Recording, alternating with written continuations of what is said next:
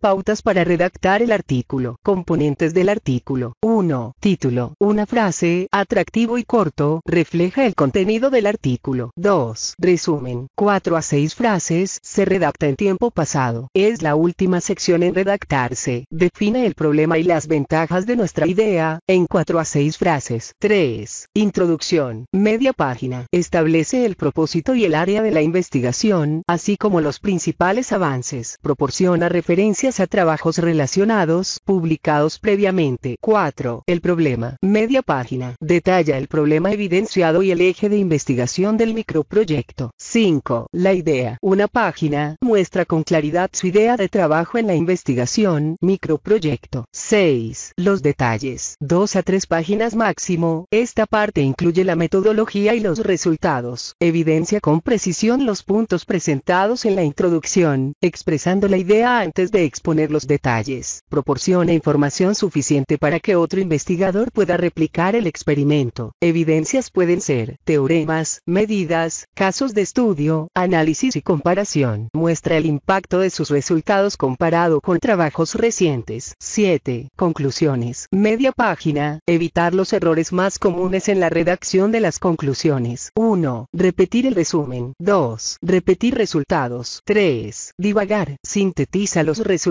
más importantes, sus consecuencias y limitaciones. Puede mostrar intenciones de trabajo futuro. Reconoce las contribuciones a su trabajo. Demuestra que usted conoce las investigaciones importantes en su área. 8. Referencias. Media página. Listado de documentos a los que se alude en secciones anteriores. Consejos para la hora de redactar el artículo. Antes de indicar las pautas, es preciso aclarar que a diferencia del artículo científico, el artículo que van a presentar ustedes sobre los resultados del microproyecto no lleva títulos específicos como introducción, metodología, conclusiones, excepto el título de resumen. Dentro del artículo sí pueden encontrarse subtítulos que ustedes dan a las secciones que presenten en su artículo si lo consideran necesario y que permitan seguir con la hilación y desarrollo del tema. Además, pueden incluir fotos y figuras que tengan gran importancia, que sean adecuadas y de calidad, comprensibles sin la ayuda del texto. Ahora sí, hora de escribir el artículo. Debe demostrar de forma clara y concisa qué aporta su artículo al conocimiento. Lluvia de ideas y claves. 1. Lo primero que debe hacer el autor, cuando quiere redactar un artículo es pensar qué pretende escribir, a quién y qué quiere decir. Así pues, en primer lugar tiene que analizar el objetivo de su artículo y escribirlo. Una vez hecho, debe considerar la audiencia a quien se dirige, puesto que las necesidades que el autor detecte sobre sus lectores le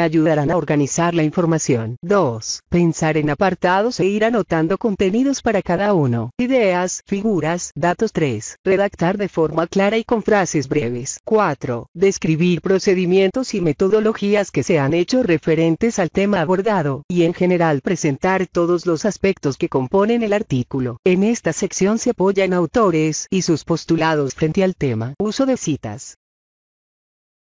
Primer borrador. Una vez organizada la información para el artículo, el autor puede empezar a redactar un primer borrador que deberá dejar descansar durante unos días, para volver a leerlo bajo una visión más objetiva. Finalizados estos días, podrá leerlo de nuevo y detectar posibles errores, reestructurar oraciones que no le convenzan, etc. Segundo borrador. Una vez terminado el artículo, es necesario hacer una nueva revisión, para comprobar los aspectos estilísticos como la escritura la gramática, el léxico y la terminología, las repeticiones, la ortografía, la sintaxis, la tipografía, etc. Edición 1. Hacer revisión y definir las imágenes, fotos, figuras, etc. pertinentes con el tema del artículo. 2. Elegir cuidadosamente las palabras clave para ubicarlas luego del resumen. 3. Prestar atención a las citas y la bibliografía. Verificar que la citación sea correcta tanto en el texto como en los pies de página. Número de referencias equilibrado. Bibliografía reciente e internacional. Evitar caer en errores de plagio, invención de resultados, duplicación de información, entre otros aspectos que pueden consultar en el siguiente enlace. www.apps.org